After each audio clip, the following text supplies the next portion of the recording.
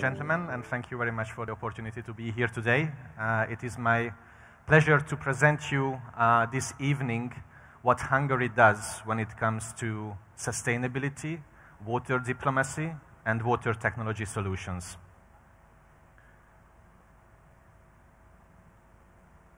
Some of you might wonder actually where Hungary is, because we are a small country, uh, located in the very heart of Europe. Our capital is Budapest. The population is about 10 million inhabitants. We are members of the European Union, NATO, and OECD. Um, the water supply coverage is actually close to 99%, which means almost everyone in the country has access to safe and clean drinking water.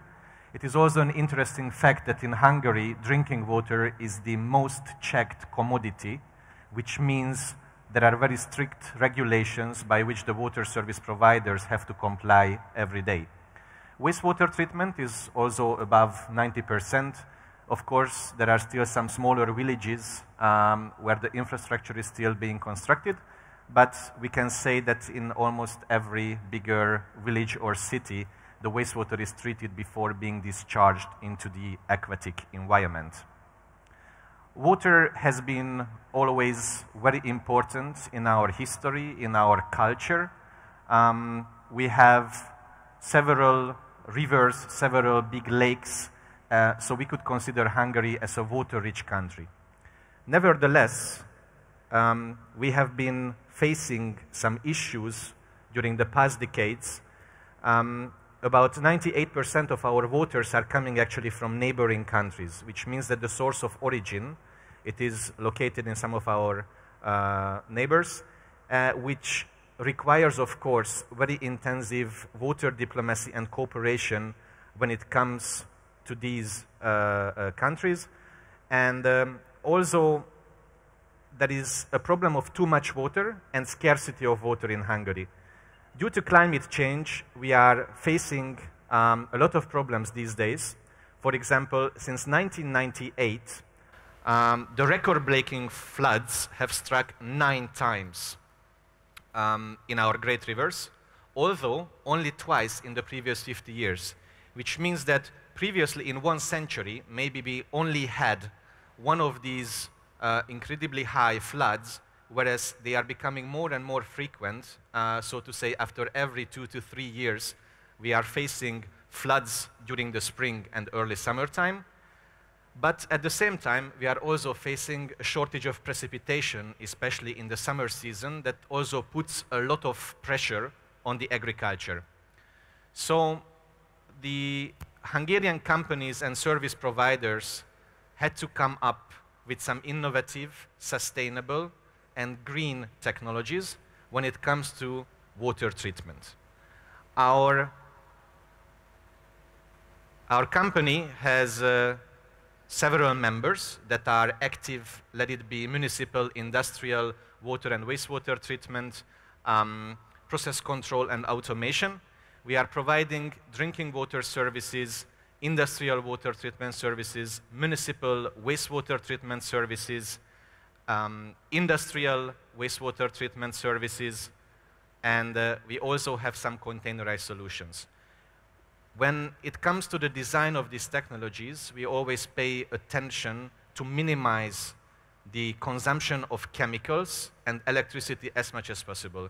We are building in energy recovery systems into our technologies, and also we are using solar energy whenever it is possible. We have developed references all around the world during the past couple of decades, um, being present in more than 35 countries. And also, the Hungarian government is one of our close partners. Um, I would like to inform you that, for example, in the Hungarian Ministry of Foreign Affairs and Trade, we have a special department that is dedicated to water diplomacy, and we are doing together a lot of humanitarian water sector development projects all around the world in order to provide clean and safe drinking water to the most vulnerable. Um, we have completed projects in the past, for example, in uh, Ecuador. Um, also, we have uh, one interesting project from the region, from Iraq. Um, a small village that is uh, located near Mosul uh, was destroyed due to the events that happened during the previous years. And um, the Hungarian government donated a containerized water treatment compact unit that is supplying drinking water to about 2,000 uh, inhabitants of this small village. Also, um, we are working, for example, in uh, countries like uh, Kyrgyzstan, Tunisia. Uh, we had one seawater desalination project not long ago. Uh, the Tunisian uh, authorities are facing a big pressure when it comes to immigration. This project is located at the Tunisian-Libyan border, and uh, the, the pressure on this small village, on this small fishing community, uh, is, is very big because they uh, have to take care of several refugees that are arriving from the sub-Saharan region. So this containerized water treatment unit uh, that uses seawater directly is providing drinking water to the local fishermen and to these refugees. All of these systems are fully automated, uh, which also helps us to make the systems more optimized, to reduce chemical and electricity consumption as much as possible. We are also paying a huge attention on the education and on the training of these operators. So we are not just leaving the equipment there after we installed and commissioned it, but we are also trying to transfer the knowledge that we have in order to be able to operate these systems efficiently. We also developed some projects in the past in Cuba. Um,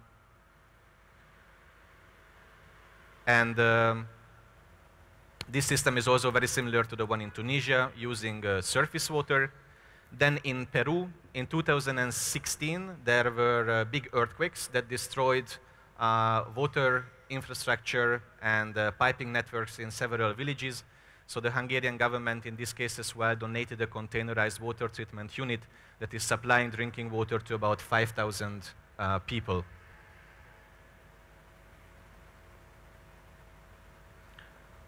You can see some uh, pictures here also when we are doing the training for the local operators um, who are confident now to use the technology by themselves. Also, um, we have a special type of equipment, for example, that are used by uh, the armed forces of certain countries. Uh, this equipment is specifically designed for disaster situations and emergency situations. Um, due to climate change, many countries are facing issues with extreme weather conditions. Uh, the frequency of typhoons, hurricanes, floods are becoming more apparent than previously. And uh, these compact units are movable, so that is why it can be easily shipped and transported to the area of the disaster location we are able to treat with that equipment surface water, such as lakes, rivers, underground water, and also seawater. And by, with one of those equipments, we can supply drinking water to about uh, 50,000 people. But of course, depending on the source of water, this capacity can uh, change. Uh, these are plug-and-play units. Uh, when we bring it to the disaster site, basically the commissioning and installation of these equipments can take place in a couple of hours. This means that we do not have to bring water from several hundred kilometers to the disaster area, but we can supply it to the affected population right at the stage. Um, you can see some information about the capacity of these equipments. And uh, basically, uh, these photos are taken from our premises where we had a staff from the Philippines whom we trained there for two weeks uh, regarding the operation of uh, these kind of uh, equipments. In 2020, we had uh, a very big typhoon in, in the northern part of the Philippines, in Catanduanes Bicol region, where um, several people had to be displaced, their houses have been destroyed, the water infrastructure, the electricity infrastructure was uh, also damaged. So we delivered this equipment to the uh, Philippine Armed Forces in October, and right after, in November, they shipped in uh, these uh, units to the disaster area. Also, another advantage of this equipment is that uh, we are able to run it uh, with a, a, generator as well. So if the electricity network is destroyed in the disaster area, we are still able to use uh, the equipment to produce drinking water. In this case, they were using uh, water from a small creek, from a small canal, And then at the end, the Red Cross was distributing drinking water to the local population.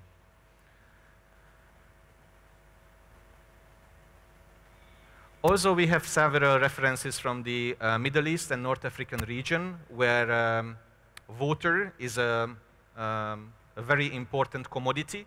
And in many countries of the region, we are facing serious shortages. Uh, shortages. Um, for example, we have one huge industrial uh, water treatment project in Egypt. The Egyptian government is planning to reduce the extraction of water from the Nile River and that is why they decided also to go for a zero liquid uh, technology at the end. It means that we are taking water from the Nile River, we are processing it for different industrial processes. Then, in the uh, hydrocracking complex, uh, the wastewater that is generated, it is sent to a wastewater treatment plant, and then we are treating further the already treated wastewater, and we are reusing it for the industrial processes.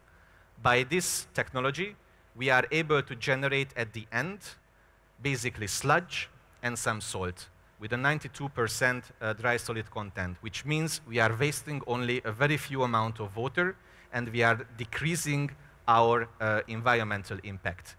Here in Qatar, we are having uh, one project with Baladna. Um, it is also a desalination project providing uh, drinking water for the animals of uh, the company. Also, water is used in various sectors. In the Emirates, for example, we had one project where we also provided uh, seawater. Uh, we treated seawater that is used to wash the surface of solar panels.